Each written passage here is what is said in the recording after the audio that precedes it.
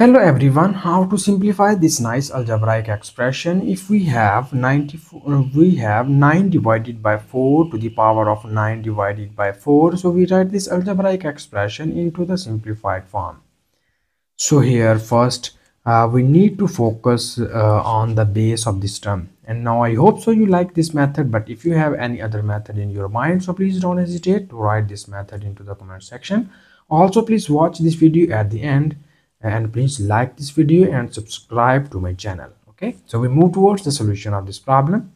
And the very first thing we are going to do is first we need to uh, write both of these two terms into the prime factors form. And we know that the prime factors of 9 are 3 square and the prime factors of 4 are 2 square and its whole power is 9 divided by 4 so here we use uh, the nice exponential law. You know about that if we have a to the power of m divided by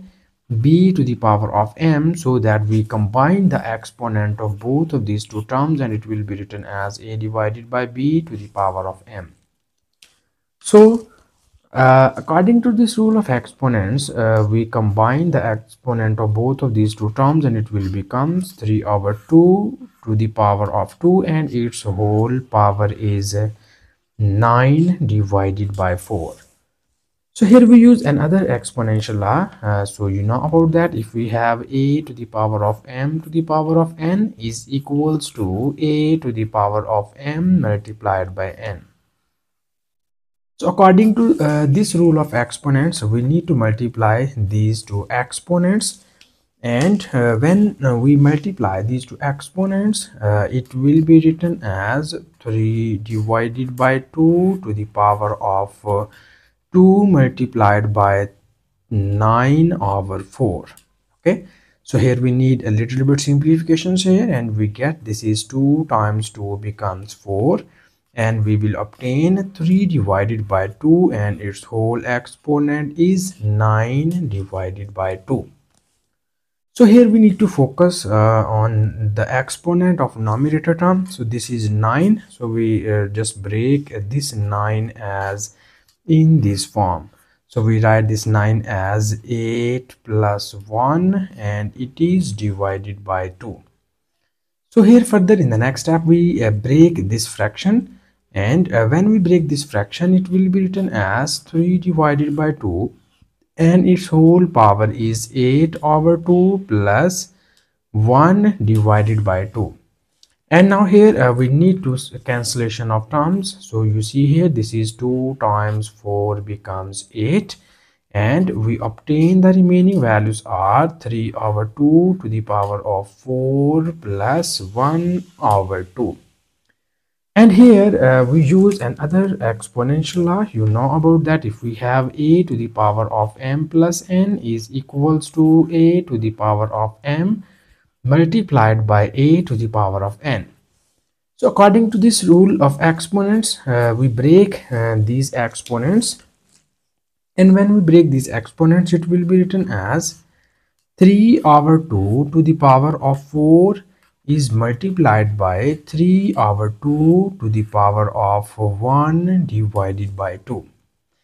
so here uh, we need another uh, exponential law and here uh, we use this law and you know about that if we have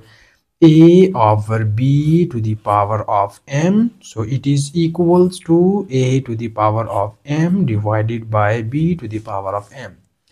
So according to this exponent uh, exponential law we just apply this exponent separately on both of these two terms as well as we apply this 1 over 2 separately on both of these two terms.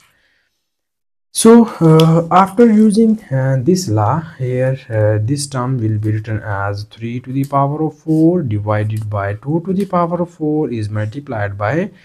this will becomes 3 to the power of 1 over 2 divided by 2 to the power of 1 over 2 and here uh, we need more simplifications. And now here we need to write the values of 3 to the power of 4 and 2 to the power of 4 and you very well know about that. The meaning of 3 to the power of 4 is that we multiply 3 with 4 times. And here when you multiply these values you get 3 3s are 9 and 9 times 3 becomes 27 27 times 3 becomes here 81